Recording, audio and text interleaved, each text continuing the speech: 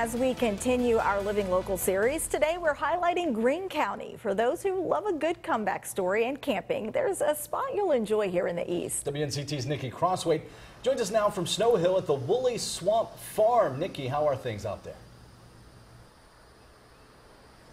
Hi, Ken. Hi, Shayla. That's right. Situated in Greene County, the town of Snow Hill may be small, but it's mighty, and so are its residents.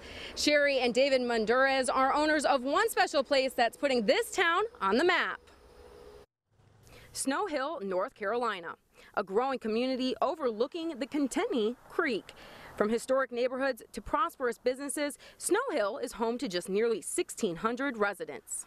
Snow Hill is such a tight-knit community and honestly it's a good place to raise your children. Just off Highway 13 tucked in the woods, some of those residents have set up camp in Wooley Swamp Farm. It's peaceful. I mean, just look at it. It's nice out here. If you can't find peace here, you can't find it nowhere. The campground is home to both wildlife and people. Whether you're setting up a tent or an RV, this place gives you the full camping experience fish, hunt, you know, explore the woods, playing with the butterflies and seeing the birds, and there you go. But it hasn't always been fun and games. The campground has now been constructed twice after Hurricane Matthew flooded the area in 2016, and then again with heavy rains the following spring. The Maduras have been resilient, not letting anything take away their home. They say they've now learned to build up. We've elevated the cabins, um, which is the, the initial thing that we did.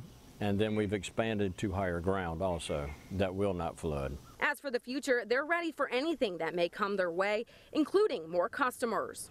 Camping is big right now, and we've got the opportunity to give Greene County something that they don't have.